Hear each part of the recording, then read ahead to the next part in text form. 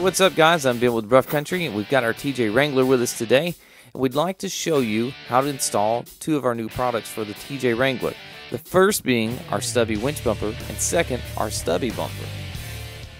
Okay, guys, the first step in installing our TJ Hybrid stubby bumper is to place these washers on the frame horn. Once those are on the frame horn, you're going to set your winch plate down and try to align these holes as best you can.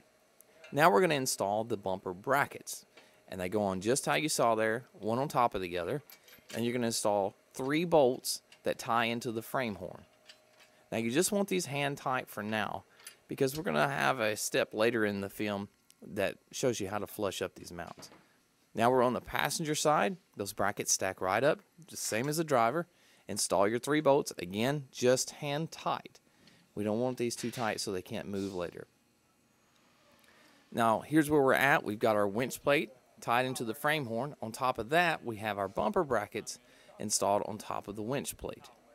Now, our next step is we're going to invert the bumper itself. And we're going to install those bolts on the front that hold it to it. Now we're going to tighten down our bracket bolts. With the bumper inverted like that, that lets us square up all of the mounting, which is going to make installation of the bumper itself, which is our next step, much easier.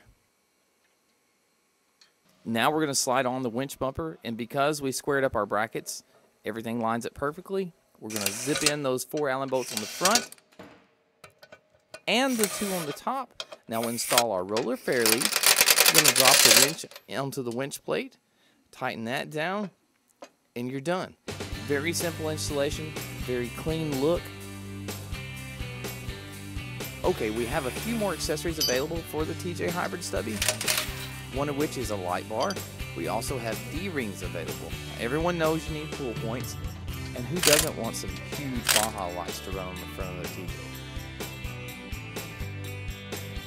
Last but not least, we offer a stinger bar, which gives a great desert look to the front of the TJ.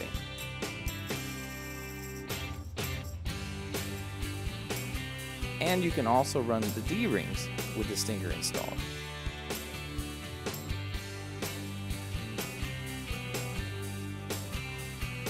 For Rough Country Suspensions, I'm Ben. Thanks for watching, and we'll see you later.